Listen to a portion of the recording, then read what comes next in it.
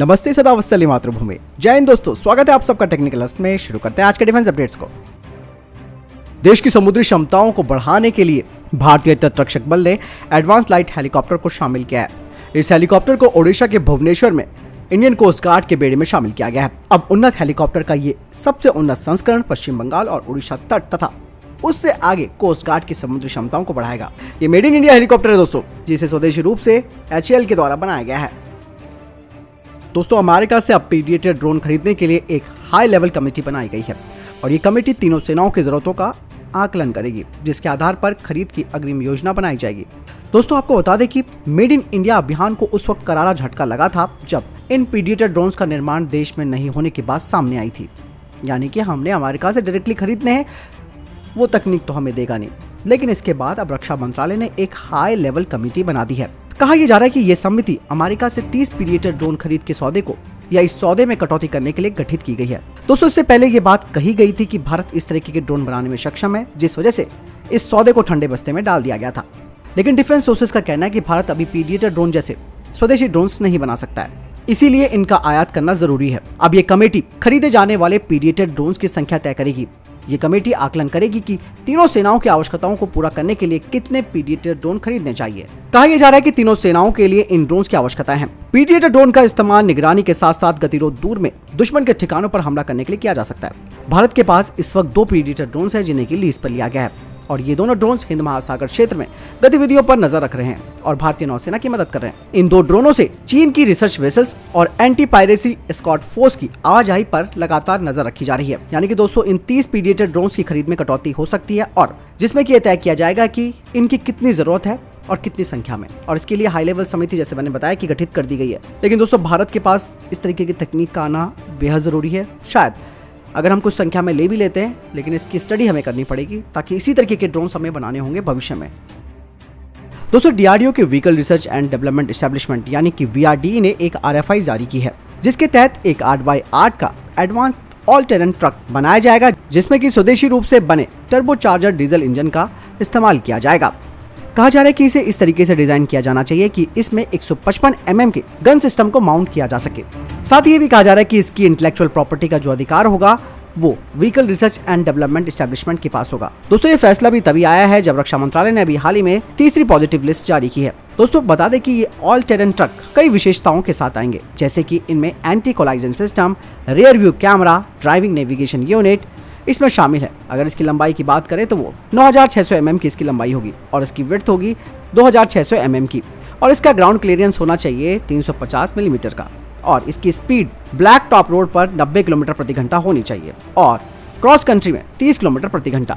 इसके अलावा full fuel tank के साथ इसकी रेंज 500 किलोमीटर होनी चाहिए। दोस्तों डीआरडीओ की सीवीआरडी एक अनमैन ग्राउंड कॉम्बैक्ट व्हीकल को बना रही है, जो कि Arjun M K one main battle tank के आधार पर होगा। अब इसके लिए सीवीआरडी यानी कि combat vehicle research and development establishment ने रिक्वेस्ट फॉर प्रपोजल जारी किया है, जिसमें कि इस अनमैन ग्राउंड कॉम्बैक्ट व्हीकल के लिए ऑटो लोडर का विकास और सप्लाई इसके अलावा हार्डवेयर का इंटीग्रेशन भी शामिल है।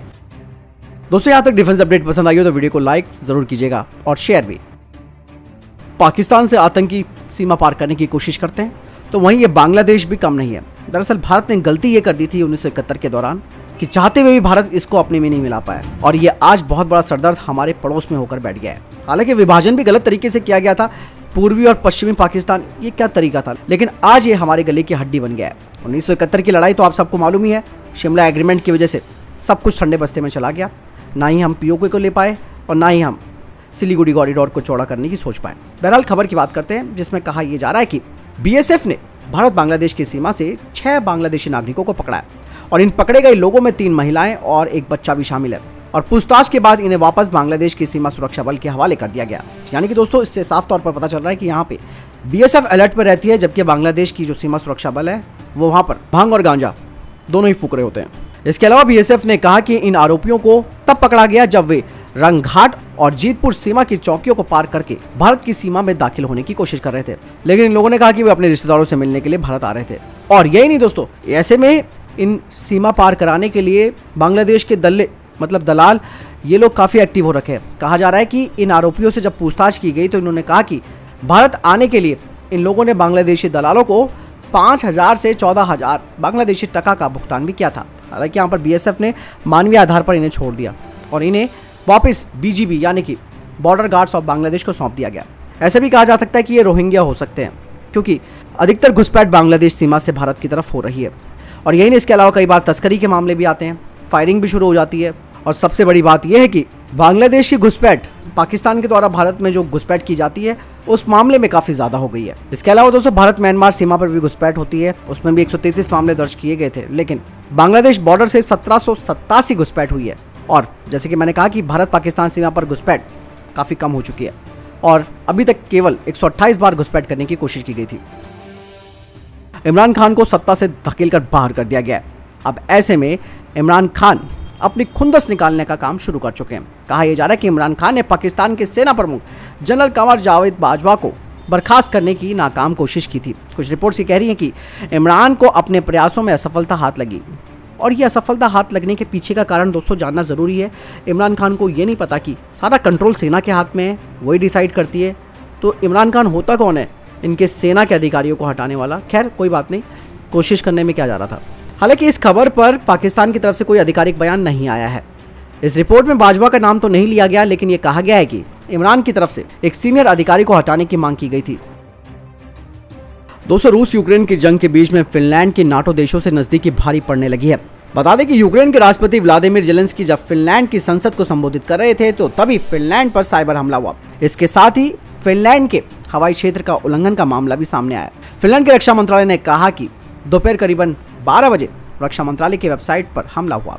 हमले की जानकारी मिलते ही वेबसाइट को बंद कर दिया गया और पूरे मामले की जाँच चल रही है। बता दें कि साइबर अटैक से पहले फिनलैंड ने बताया कि रूस के एक विमान ने करीबन तीन मिनट के लिए उनकी हवाई सीमा का उल्लंघन किया था। विमान फिनलैंड के हवाई क्षेत्र में आने के कुछ समय के बाद वापस चला गया। बता दें कि फिनलैंड रशिया के साथ 1300 किलोमीटर की सीमा को साझा करता है। और ऐसे में रूस और यूक्रेन की जंग के बीच फिनलैंड और रूस में तलखी बढ़ती जा रही है। फिनलैंड ने हाल ही में दो रूसी राजनयिकों को अपने देश से बाहर निकाल दिया था। दोनों देशों के बीच बढ़ती तलखी के बीच फिनलैंड ने सेना को मज़बूत करने के लिए अगले चार वर्षों में दो दशमलव दो अरब डॉलर खर्च करने का लक्ष्य भी रखा है। इसके अलावा आधुनिक सैन्य हथियारों और सैन्य उपकरणों की खरीद की योजना बना रहा है। बता दें कि पिछले हफ़्ते ही रूस ने फिनलैंड और स्वीडन को चेताया भी था कि नाटो देशों के करीब जाने पर सैन्य और राजनीतिक अंजाम भुगतने के लिए तैयार रहना होगा।